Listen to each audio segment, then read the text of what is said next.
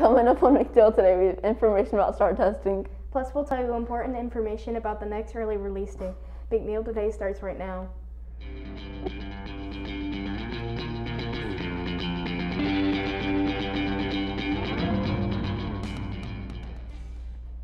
Good morning, I'm Shayla. And I'm Aaliyah. The seventh grade writing STAAR test has been rescheduled to Monday, April 12th. Please bring your Chromebook fully charged and your charger. Also, bring a book to read after. Lunch options will be a chicken sandwich or a bento box. Water will also be available for purchase. Remember, no snacks are allowed. Good luck on Monday. Be in a Be in a Box will be held on Thursday, April 15th in Miss Penny's room, C105B. Attendance is optional. We'll practice both portions of the competition. Attention McNiel students, if you love history, trivia, and being creative, the Junior Historians Club is for you. We meet each Monday after school in Miss Howell's room, C105A, until 4 p.m. We are always looking for new members. Hope to see you there and bring a friend.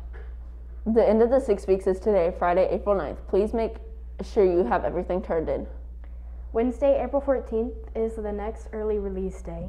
School will end at 12. Please make sure all students are off campus by 12:15.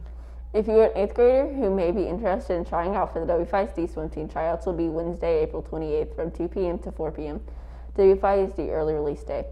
Tryouts will be held at the Central Boys and Girls Club pool, 1318 6th Street, Wichita Falls. Tryouts are open for any high school or eighth grade student who may be considering joining the swim team in the fall. You must have a current athletic physical to participate. For more information, contact Coach Zoll at ozall at wfisd.net. Here's what's being served today in the cafeteria.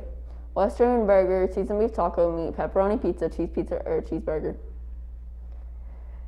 Breakfast tomorrow will be pancakes, blueberry parfait with granola, cold cereal, chocolate chip or blueberry muffin, or a frosted cinnamon pop tart. We do need your news and information. Here are two easy ways to get it to us. You can email it to us at across at wfisd.net or drop it off to us in room D138.